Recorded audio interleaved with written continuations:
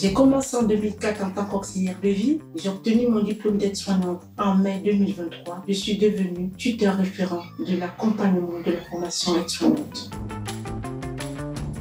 J'ai trois leviers, les personnes en reconversion professionnelle, les personnes en parcours VAE, des personnes en apprentissage.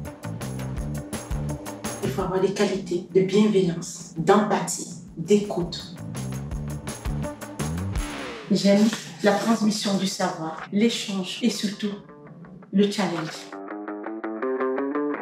L'initiative, parce qu'on a le droit de se tromper, d'être dans l'action et de pouvoir se réajuster.